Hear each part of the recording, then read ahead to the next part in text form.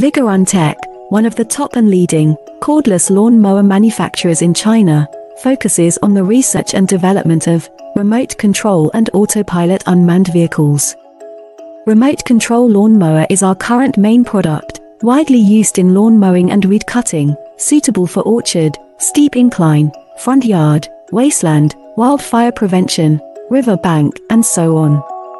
The wireless radio control lawnmower adopts CE and EPA approved gasoline engine, 200 meters long distance remote control, adjustable cutting height, travel speeds up to 6 kilometers per hour.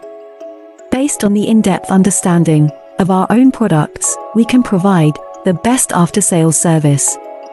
We are looking for distributors and dealers all over the world. You are